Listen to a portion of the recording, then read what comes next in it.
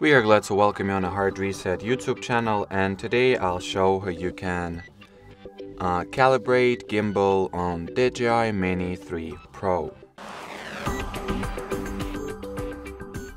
So to start you will need to switch on both the drone and your remote controller or the DJI Fly app depending on what kind of controller do you have.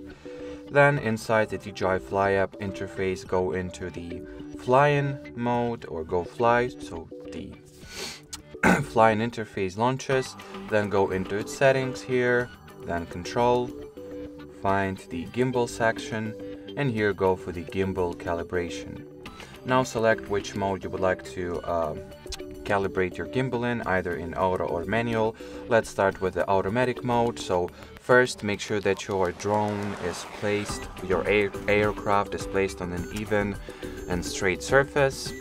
Then into auto calibration mode and I'll simply wait for this calibration to be finished or well, recenter process to be finished.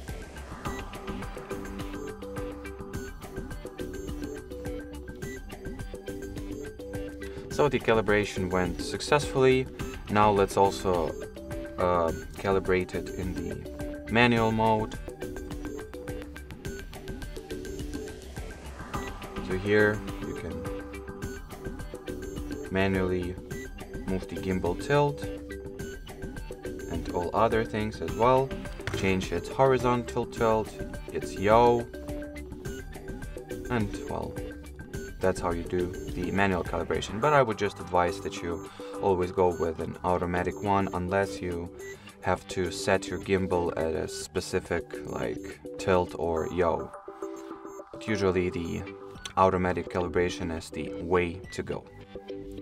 Uh, if you were attentive enough, you've already noticed that uh, the settings have not they have not only the recalibration option but also recentration.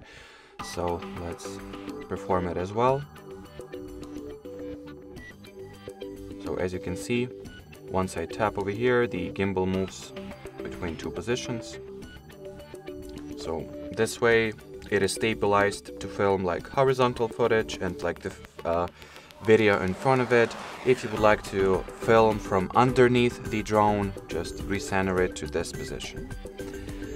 So I guess that'll be it for this video guys. Thanks for watching and bye bye.